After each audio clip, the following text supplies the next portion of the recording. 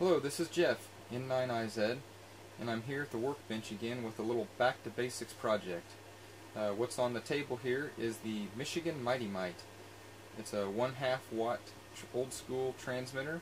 The circuit's been around for quite a long time, and there's a lot of people um, that have built it.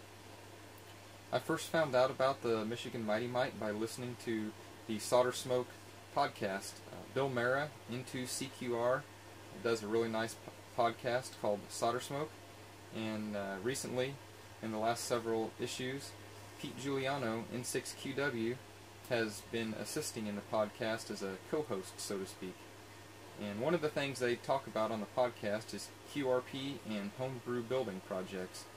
And uh, recently, uh, Bill sent out a whole bunch of crystals, the uh, 3579 color burst crystal. And this crystal is what's used to make a simple transmitter called the Michigan Mighty Mite. Uh, so right here I have built the transmitter and I have the crystal in here. I've got it all, I have it all breadboarded and uh, it looks pretty ugly, uh, but it does work. And uh, I found that it's been an enjoyable project. It only requires seven or eight parts.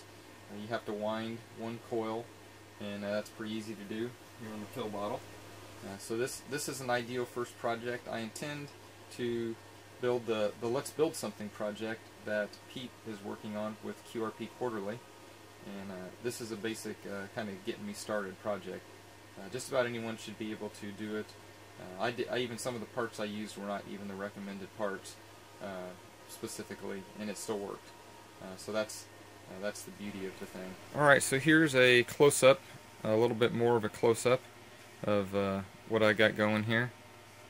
I just I used a lot of jumper wires, um, used a small CB load, 50 ohm load, a small CB power supply here on the bench.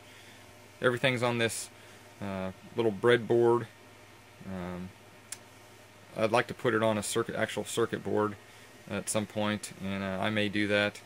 Uh, but right now it actually uh, actually works all right. So this is about as far as I can zoom in with this camera and, and still keep things in focus for the most part. So you can see right here color burst crystal. Uh, you can see right here the homemade wired uh, inductor. And then up here the air variable capacitor with a little knob on it. Um, couple small uh, 0.05 microfarad capacitor, um, 27 ohm resistor. Uh, it was recommended to add this uh, 0.01 microfarad cap uh, to reduce key clicks, even though I'll probably never have this on the air. I uh, figured it would be good to have it. And uh, there's one more resistor in here. I think it's a 100k. you can see it basically there. 100k. Uh, so that's it. Very simple. Uh, seven, seven or eight parts, and uh, I've got it connected to a small dummy load. I have it my PowerSDR operating, and I'll actually be able to uh, see uh, see visually the the signal as it's received. Okay, so we're back again here looking at the PowerSDR uh, Panafall display, and you can see that I have the uh, receiver set for 3.579545, which is the actual color burst uh, frequency. And what we're listening on right now is an outdoor antenna. It's a Carolina Windom, and uh, it should uh, display the, the signal uh, fairly well here. So let's give it a shot keying, uh, keying the transmitter.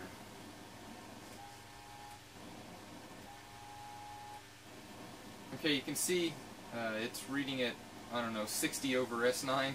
Uh, very large signal here. And, and the main reason why I did that was just so, uh, for the sake of the video, that it would be uh, clear and uh, easy to see. Um, but you can see the signal uh, pretty well here.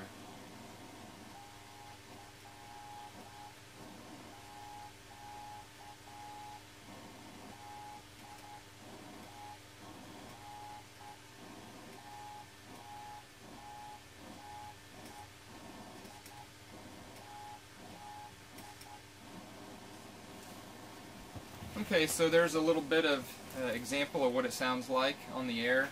Uh, as you can see the signal is pretty nasty looking and it needs a low pass filter to actually be used even at a half watt. Uh, the harmonics are uh, pretty bad and it really needs a, a um, low pass filter to be in compliance with the FCC and uh, good amateur radio practice. But it's been a really fun project and whether I ever use it on the air or not, uh, I've learned a little bit about RF design and building, uh, com constructing components and putting it together. Uh, so I think it's been a fun and worthwhile project. It can be built for under 20 bucks, right at $20 mark. Um, the most expensive part is the air variable capacitor, and uh, some people will be able to get a hold of that um, inexpensively out of a junk box. Uh, so there you go. This is Jeff N9IZ. Uh, thanks for watching. Uh, if you're interested, you can watch my blog. I'll have more details and pictures and hyperlinks and that sort of thing on my blog, uh, n9iz.com, in case you're interested. 73 for now.